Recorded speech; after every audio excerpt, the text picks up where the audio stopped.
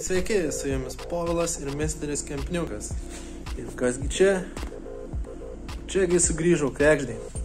Pagaliau iš tikrųjų jau pasilgau žiauriai, iš tikrųjų ir buvo smagu biškelį šiandien pasivažinėti su juo.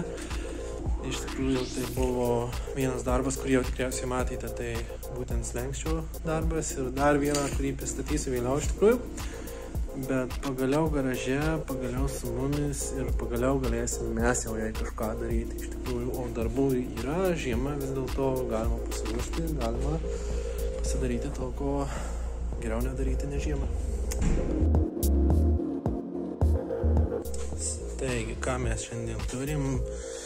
Mes turime slengstį, kaip matote, šiek tiek durelių kraštas irgi matosi, bet pagrindė slengstis, kadangi tvarkiai, aš iš tikrųjų prašiau, kad nereikia, net kadangi mažai turėjau laiko ir aš norėjau skubiau, kad tiesiog darytų tą, ką reikia, o tenais dažymas, kad ir pats pasidariliuosiu. Na, šie čia dar yra.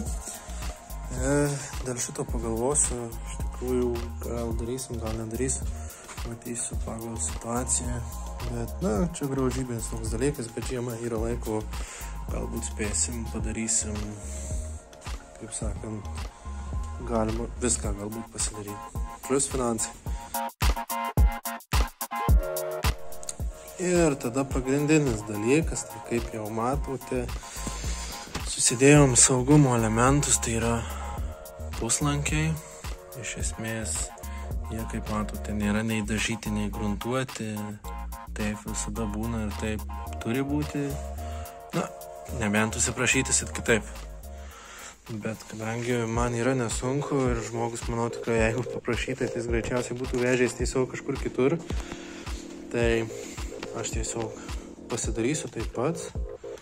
Kaip matote, tai yra biškiai daugiau negu minimali konfiguracija šito dalyko.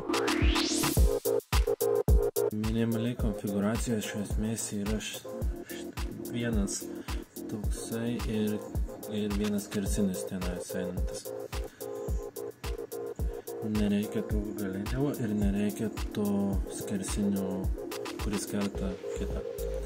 Tai matote, dabar yra X forma ir tas nėra būtina, užtenka vieno skersinio. Taigi, kadangi žinom, kad mums neprideda daug kainos, tai mes tiesiog prisidėjom papildomų saugumo.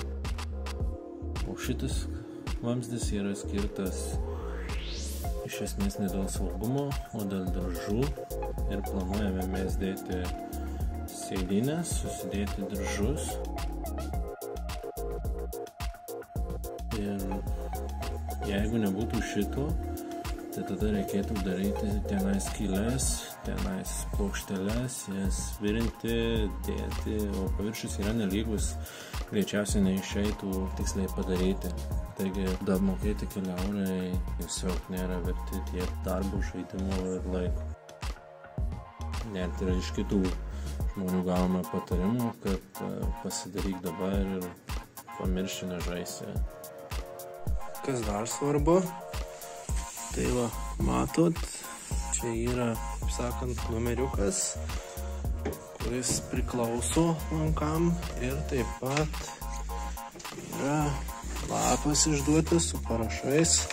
Dvi kopijos, viena eis į laspą, viena liks man ir jeigu reikės, tarkim, paprašys per varžybas parodyti, turėsiu turėti ir parodyti, nes tai priklauso prie lankų, prie sertifikatų. Ir lasva eina tas, kas realiai patvirtys, kad tai tikrai yra ir tai teisinga ir kai gali atsiversti. Tai va tokie dalykai kaip ir minimalūs reikalingi ir esami šitam saugos elementai. Dar ką reikės padaryti, kaip matot, kabo šičia bilė kaip tie laidai, bilė kokio vietoje ir bilė kaip su jais. Iš tikrųjų, nei gražu, nei atrodo gerai, nei atrodo saugiai, kaip sakant, tai vienas dalykas juos bent jau į krūvą surišti galbūt perkelti, perstumti į kitą vietą biškelį, taip pat reikėtų vėl įsisiurbliuoti, įsišluoti, galbūt matysim, ką čia reikia padaryti, bet jau kaip minimaliai tuos laidus patraukti iš tos vietos. Kitas dalykas, nebereiks mum diržų, viskas pamirštam, imamas bus vis tiek e, sports pasas C klasės, tai galėtieji diržai praranda visiškai reikšmę, kaip sakant, keli šimtai gramų minus būtų, taip pat nebereiks ten gal tolumoje matų priekinių diržų, bet aišku, kol kas dar neimsim, nes tiesiog neturim, kaip sakant, e, sėdynų, neturim diržų, tai kamgi juos imti. Čia tokie, kaip sakant, minimalūs darbai, ką reikės padaryti. Taip pat yra biškelį daryti iš salonė keli dalykai, kur jau nelankas aukėbulas pats yra, tai irgi, manau, pasidažysiu, bet tai greičiausiai bus daroma, jeigu šiais metais pirksiu tiesiog um, sėdynės, tai posūdydų, nes, na, jis bus įsivirinimai, keli ir panašiai. Tai aišku, po visko parodysim, parodyti, pabandysiu eigą, bent jau minimaliai, kaip sakant, viską galbūt ir nepavyks, bet bent jau kažkiek parodyti viso to.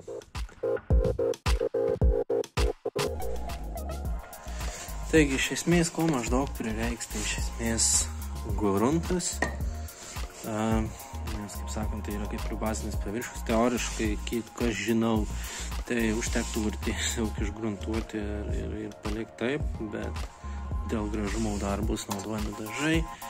Bandysiu gal geltoną spalvą, norisi, kad matytųsi vis tiek, bet uh, nesinori gal, kad per daug ryškus būtų, tai aš manau tiesiog užsidengs, susidengs, gal, gal nebus per daug ryškus, gal bus šitą matysim, kaip sakant, ko dar reikėtų, gal ir nebūtina, jeigu dažysit salonų, kaip sakant, spalva, bet šiuo atveju nebus salono spalva, tai yra lipnu, ne kaip sakant, lipnus popierius.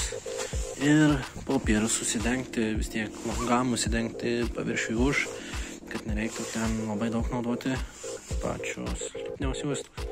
Taip pat iš esmės reikės turėti kuo nuriebalinti, nes vis tiek gali būti ranka dar kuo pačiupinėta šiek tiek riebalų ir gali tiesiog nelipti gruntas, tai dėl viso ko pereit, kaip sakant, nuriebalinimu tikrai blogiau dėl to nebus, kaip sakant tai bent jau minimaliai taip, tai pasidaryti tokį, kaip sakant, minimalų, ne visiškai, kaip sakant, net, aš sakyčiau, neprofesionaliai, tai užtenka iš esmės tik tiek. Taigi pabandysiu šiek tiek nupasakoti darbų eigą. Tai aišku, pats nesu profesionalas e, ir tikrai galiu tik tai maždaug papasakoti, kaip kas yra, ko tikėtis pasidaryti bent kokiam mėgėjiškam darbui. Pats e, iš tikrųjų klausiu su broliu, jeigu kažkas man neaišku, dažnai tikrai neklausiu man būna dėl šitų dalykų. Brolis, kaip matėte, dirba gana profesionaliai, tai yra e, jeigu turite mūsų Instagramą, e, buvom pasidalinę brolių video, kaip jisai man pervėlino slengstį. Taigi iš esmės, ką pirmą darėm, tai pirmą nusieriebalinom paviršius, tada pradėjom dangstytis, bet realiai galima buvo po dangstymus iš tikrųjų riebalintis paviršius, nes be dangstydamas kelis kartus paliečiau iš tikrųjų patį konstrukciją, kurią dažėm, tai yra puslankius, tai to realiai po to reikėjo dar kartelį bent jau tas vietas e, vėl nusiriebalinti ir palaukti, kol nudžius nes iš esmės jeigu nebus nudžiūvę, galima aišku panaudoti orą, kad greičiau nudžiūtų, bet jeigu bus nenudžiūvę ir bandysit dažyti, tai gali tiesiog atsirasti paviršiuje bėdos ar tas, neatsimenu, nesu tikras, kas nutiks, bet žinau, kad negalima. Taip pat riebaluotas, jeigu bus paviršius, tiesiog prie to paviršių neprikibs iš esmės. O dangstytis irgi dangščiausiai iš tikrųjų daug palikau erdvės net neuždengtos.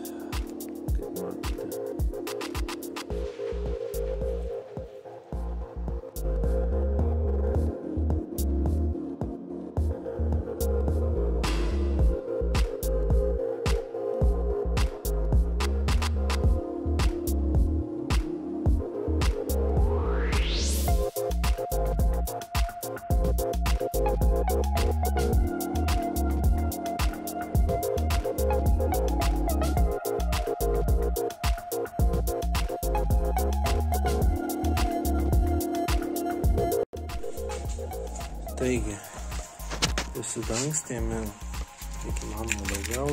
Tarkim, taip paėmus iš tikrųjų galėjom daugiau, žinoma, įsidangstyti, bet nėra labai būtina. Vienas dalykas, dar darysim kelis vis tiek patvarkymus iš tikrųjų, tai įsidangstumėm pagrindinės vietas, kad nebūtų ant pagrindinių vietų, kaip sakant, pilna.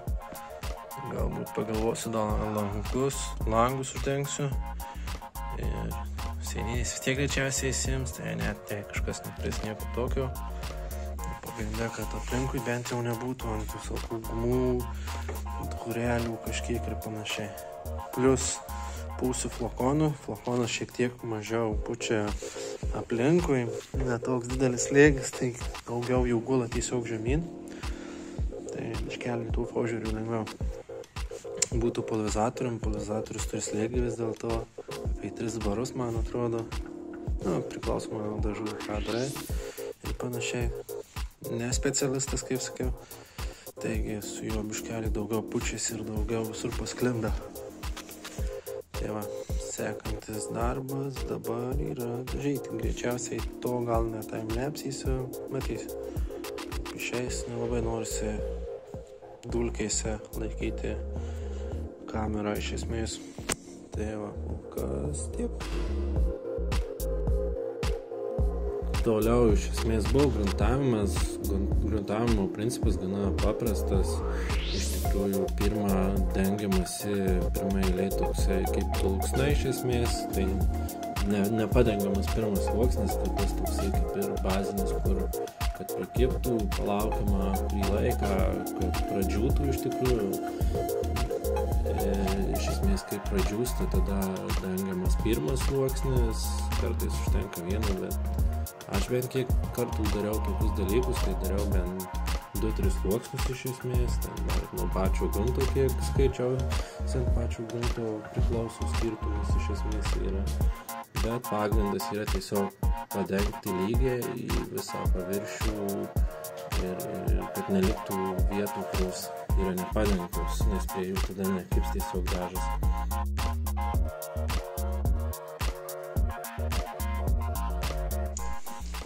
Taigi gruntas jau yra ir liko dažai. Biški keliose vietose taip gavosi gražiai, kaip norėtųsi, bet jei kas persidažysim, galbūt dažą metantis biški gražiau užsimet, bet išsitaisys. Gal ir ne gal ir palikti baltai. Variantas. Sudažymo iš tikrųjų principas labai panašus kaip ir pačio gruntavimo. Aišku, kaip matote, galbūt, kad aš jau esu su kaukė dažytoju. Pradžioj buvau be jos, biškelį klaidą padariau iš tikrųjų, nes pradėjau jausti kvapą gana stiprų nuo grunto jau, tada užsidėjau žinot, kaip ne kiekvieną dieną tai darai, tai tiesiog ne visą laiką ar pastebi. Taigi geriausia, aš aišku, biškai irgi persistengiau, bet tada tiesiog laukiau ilgiau, kol išdžius, pradžius, bet pirmą eilę pilną nedaryti reikėtų, padelgti tokią dulksną nestiprią, bet kadangi yra vamzdis, kad na, buvo sunku iš tikrųjų taip tiksliai gyvendyti.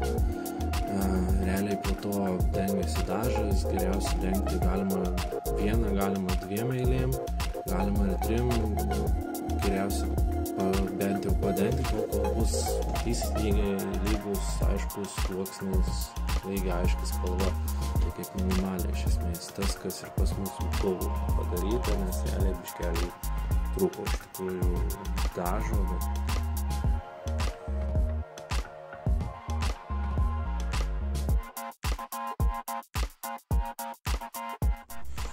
Na, išdažyta.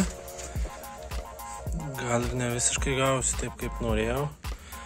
Bet jeigu kas biškai pritrūkau, iš tikrųjų dviejų skardinių trūko, graviteto grunto irgi trūko.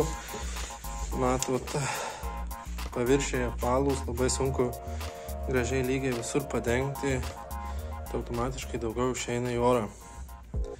Taigi, kas pirksitės, darysitės, paturiu biškelį daugiau. Na, bet gavosi. Žiūrėsim rytoj, kai bus viskas išdžiūvę, galbūt reikės dar vienos skardinės netyčia nusipirkti. Gal ir bus gerai viskas. Taigi jau išdžiūvė, jau išdažyta, iš tikrųjų netaip čia baisiai atrodo. Gal sakyčiau, viskas ok bus. Matom, piškelį ten, kur neusidangščiau, kaip ir tikėtasi, buvo liko dažų, prasme, dulkų prikrito, bet man labai tai rūpi iš tikrųjų, nes tenais neinu riebalinta, nei nieko, tai iš tikrųjų tiesiog valusi gana, gana prastai. Kitas dalykas, kaip minėjau, dar reikės pasitikrinti dėl rūdžių piškelį keletą vietų. Tai gali būti netgi tikrysis ir šį čia, nes mačiau kelias tokias įtartinas vietas.